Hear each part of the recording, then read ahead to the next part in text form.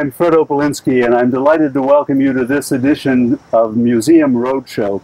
We're here outdoors at the Reading Public Museum in what is one of the most beautiful spaces in all of Berks County, I think. Uh, the museum yard, if you'll call it that, and uh, the Arboretum. And we're going to be looking at uh, tree specimens and sculptures here, and uh, with a big encouragement for you to come and take a walk around. I have Colin Gallen with me here today who is going to discuss some of the more significant trees and glad to have a tree expert here. Well, thank you. Hardly call myself an expert. Uh, but I can talk about a few of the trees we have here in our arboretum. Uh, we have trees from all over the world, but the first one I'm going to talk about are these trees right here to our left. These are river birch trees, and they are local trees.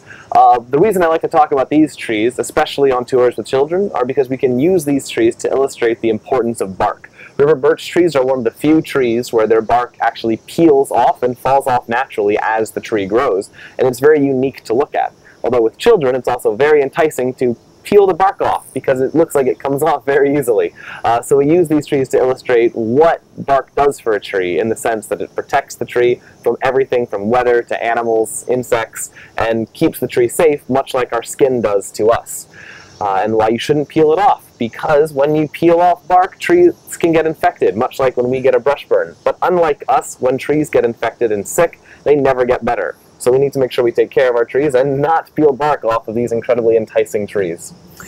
Has, has the bark been used for anything? I mean, I, have seen Indian bark things in the America in the American Indian Gallery, but I don't know if it's this sort of bark. Yes, the uh, Montagnais natives, which we have represented in our North American Indian Gallery inside, uh, made birch bark canoes. Now, they would use eastern birch bark as well as occasionally river birch bark. Uh, and they would essentially sew the bark together to make a canoe out of it and then plug the holes with sap. Although, while this craft is still around today, uh, that they people can still make birch bark canoes, uh, the natives were able to peel the bark off a tree in a way that didn't damage the tree. Unfortunately, that art has been lost, so we no longer can take bark off the tree without causing damage to it. So uh, we want to protect these trees because Absolutely. they're certainly beautiful. And this is right at the museum entrance. Where are we headed next, Colin? Uh, next, we're going to head a little bit more down our path, and we're going to take a look at a tree that unfortunately is very sick.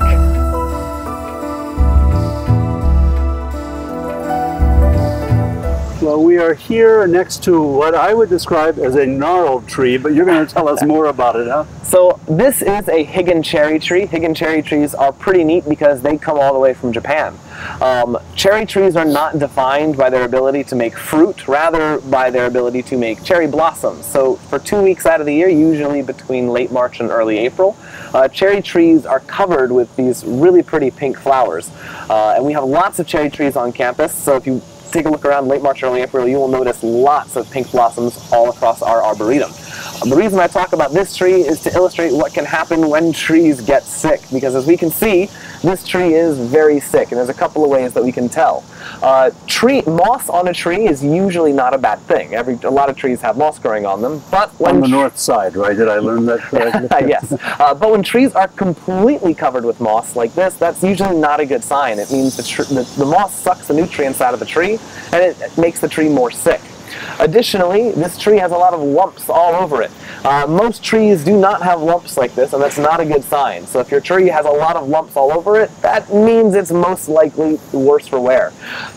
While these lumps do make it easy to climb, I assure you it is not a good idea to climb a sick tree, not because you yourself will get sick, but because when a tree is sick, its wood is very rotted, and it's not going to necessarily support everyone's weight. So stepping on the wrong branch might cause you to tumble down. So it's never a good idea to climb a sick tree. Is anything being done about this, or will it will it eventually? We are attempting to prolong its life. If you notice over here, uh, this branch has this branch has been cut off, and the reason why they cut branches off of trees is because if the branch were to fall off by itself without us cutting it off, it could cause damage to the property around it, other trees, the museum that it's next to, Additionally, when the branch falls off, it exposes more of the tree to illness because that part of the tree is no longer covered with bark or anything protecting it. So by cutting these branches off before they fall down, not only do we protect the grounds around the tree, but we help add a few years to the tree's life. Here we are right next to the uh, bridge across the creek and um, another champion tree. Yes, this is our second champion tree, the Tatarian maple. Unfortunately, like the Higan cherry tree, this tree is very sick, and we're not sure how, we're not sure how much longer this tree is going to be here, but we're trying our best to preserve it because it is a champion tree. Uh, as mentioned before, champion trees are measured by their girth, so the fact that this tree is sick is actually assisting in it becoming a champion tree because the gnarls are adding to its width. Um, there's a lot of unique characteristics in the sense that it kind of looks like it spirals up as it grows. But the reason why I like this tree is because it shows that champion trees don't need to be big trees. They just need to be the largest of their species. Now, I've got to say, I do recognize this tree because we've got one at home, although not nearly this size. Uh, it's a ginkgo, Yes, correct? Yeah. this is a ginkgo tree. Ginkgo trees have a lot of unique characteristics about them, but if you want to identify them, one of the key features are their leaves. So if you ever see a tree with a leaf that looks like a fan, in this capacity, that is a ginkgo tree. Ginkgo trees are the oldest species of tree on the planet. They have been around for over 270 million years. They predate the dinosaurs by about 25 million years, so they have been here for quite a long time. Uh, not this tree, obviously, but the species as a whole. Uh, additionally, ginkgo trees are one of the few trees that have gender, male and female ginkgo trees. And uh, luckily, this one is a male, because female ginkgo trees are notoriously bad smelling. So They are. The fruit is reminiscent of a baby's diaper. I It- it's it's absolutely horrible. Luckily, this one is a male. Now, this ginkgo tree has one other really unique thing about it in the fact that it is a champion tree. A champion tree is the largest tree of its species in Pennsylvania. Our campus has five champion trees currently, and uh, if you ever feel like walking around the arboretum to find them, they're all marked with QR codes, so you can try to find them. Uh, but this is one. Champion trees are not measured by their height; they're measured by their uh, width. So you measure four feet off the ground, draw, measure the width around the tree, and that's how you can tell what is the largest tree. Do you have any idea how old it might be? We don't know exactly how old the tree is because the only way to tell how old a tree is is to cut it down and count the rings.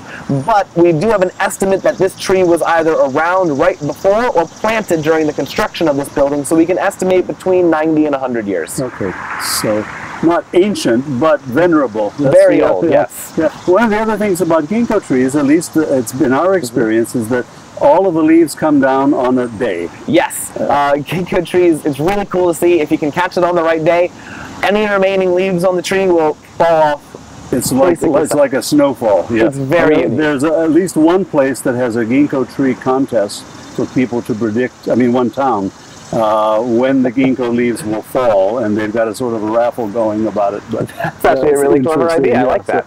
And fundraiser for the museum, perhaps. huh? Essentially, how to pitch it. All right. All right. Now we're off to. Well, if we still have some time, we can go across the creek and we'll take a look at two more trees. Okay. Um, what, it's pretty clear we could spend a very long time walking around the Arboretum and talking about trees. This is the last of ours for this program, and we've got a pair of bald cypresses. Right? Yes, these Or are cypri. bald cypress trees. Uh, there's a lot of unique things about these trees, but my favorite has to be that they are deciduous pine trees. So for those who are unfamiliar, there are two kinds of trees, deciduous and coniferous.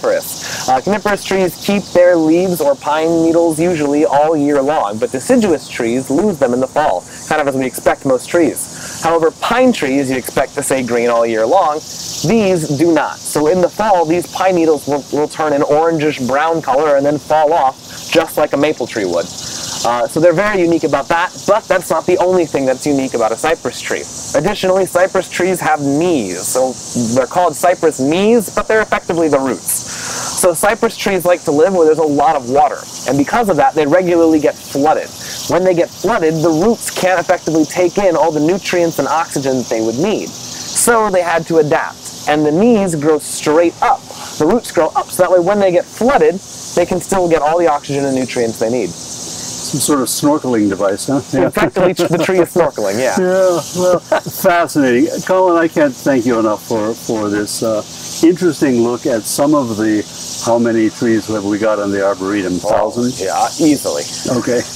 and again, if you're looking for a beautiful place to walk, really any time of the year, uh, the Arboretum is that place. Just park in the museum parking lot Absolutely. and And the best it. part about our Arboretum is even though we highly encourage you to come and check out our exhibits, if you just want a nice place to walk around, the Arboretum is free. and it's also pet friendly. I've seen lots of Yes. folks walking their dogs. Right? Please yeah, bring them. yeah, yeah. Thank you again. Appreciate it so much. Now we're going to look at some sculptures. We've got Scott Schweigert waiting to take us around, showing us some of the sculptures that adorn the arboretum as well.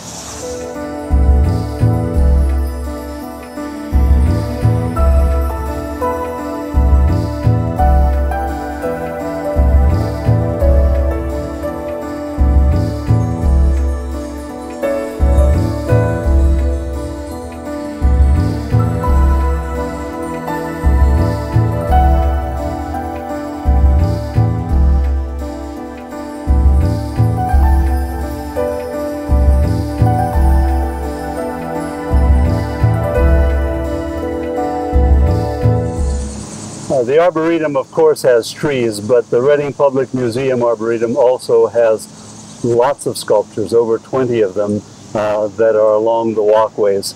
And I'm delighted to have Scott Schweigert, curator of the Reading Public Museum, here to introduce us to a few of them, at least. And the first of them is, in a sense, a recycled sculpture. Uh, old timers from the Reading Public Museum may remember uh, in a slightly different uh, setting. huh? That's right, Fred. Um, this work is by our second director, uh, Earl Lincoln Poole, who studied at the Pennsylvania Academy of the Fine Arts, but who also attended the Academy of Natural Sciences in Philadelphia. So he was an expert in uh, natural history, but he specialized in uh, sketches and images of uh, wildlife.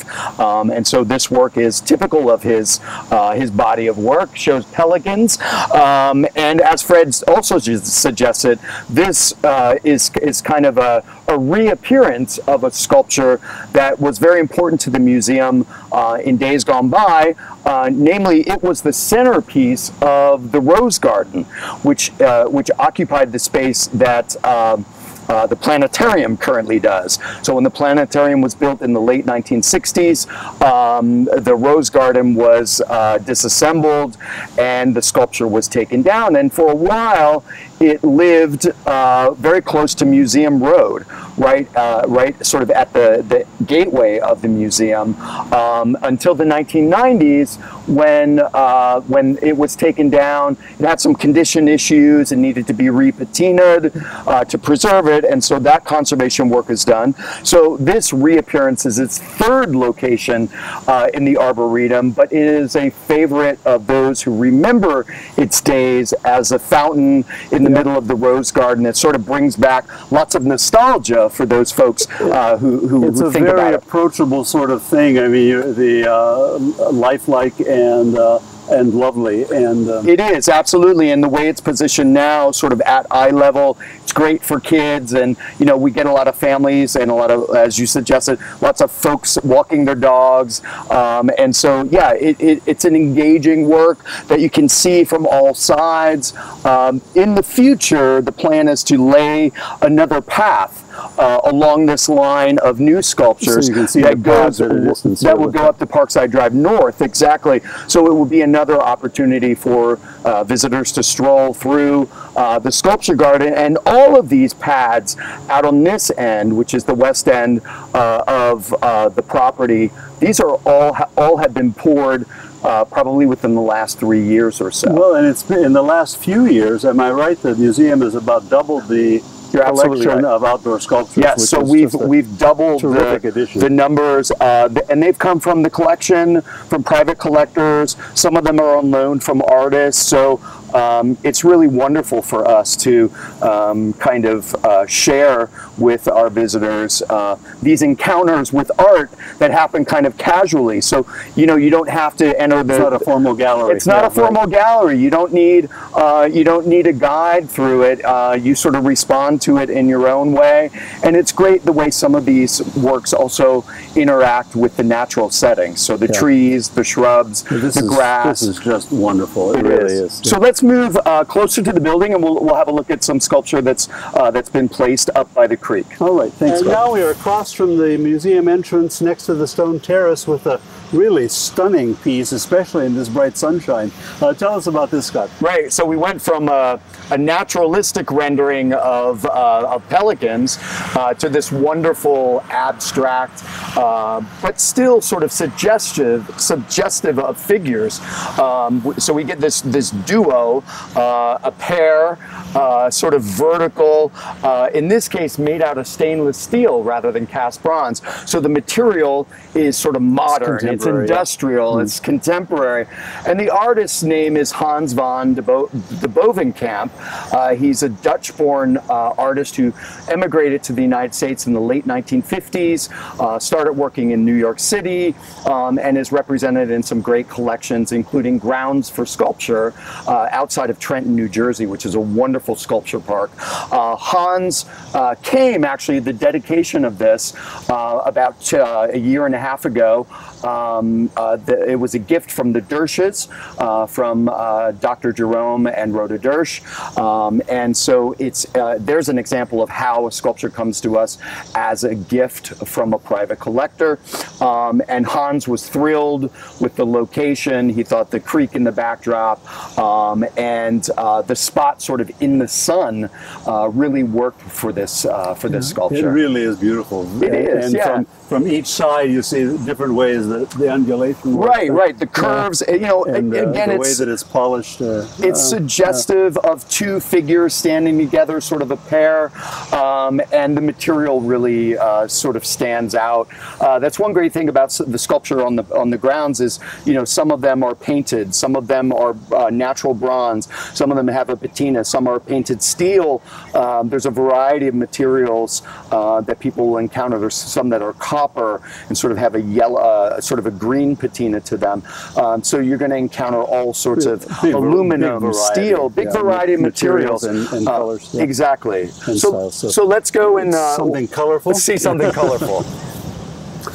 Well, here we are in the front of the museum entrance, back to nature and to color, and something that is so evocative of arboretum, isn't it? It uh, is it's sort of seeing the unseen. So what we've got here uh, is a bronze root by Steve Tobin, who is a artist uh, from Quakertown. He's got an international reputation. He works in glass, ceramics, uh, bronze, steel, um, and does these wonderful um, roots that are evocative, right, of nature. They're sort of drawn from nature. Realizing that this is underneath every one of these trees around here. Exactly. Huh? Yeah. It's sort yeah. of the unseen uh -huh. in the Arboretum is this root system. But he got inspired uh, by a natural disaster uh, or a, uh, a man-made disaster, I should say, uh, with 9-11 uh, uh, after 9-11 uh, happened, one sycamore tree in New York City had been uprooted and he took inspiration from those visible roots